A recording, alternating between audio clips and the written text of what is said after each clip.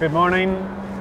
It's Sunday morning. Piece to camera. Sorry. Good go. morning. This Sunday morning. I forgot where I was. Sorry. Kathleen. Okay, so thank you for doing that great intro, Stephen. I You are so good. We have a question this morning from Chris. Thank you, Chris. Chris asks us Are you required to complete compulsory professional development in real estate? Great question. So, what that covers is is there a minimum requirement that real estate agents need to maintain for their training, uh, understanding legislation, and keeping on top of all that? Um, so, Yes. there is, let me turn my phone over because it's distracting me. Um, there, yes, there is, and certainly um, good agents will keep on top of training and on top of the legislation.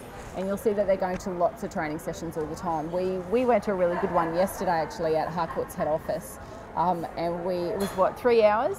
It was with- really good. Yeah, And yeah. with Lee Perry. So Lee Perry is an amazing agent from Western Australia.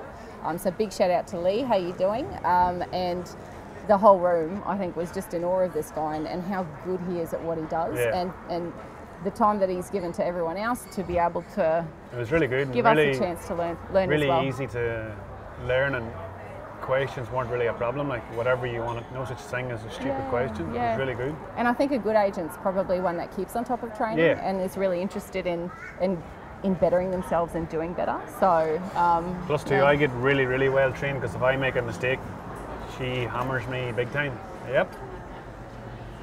Don't She does. encourage him, please. I don't.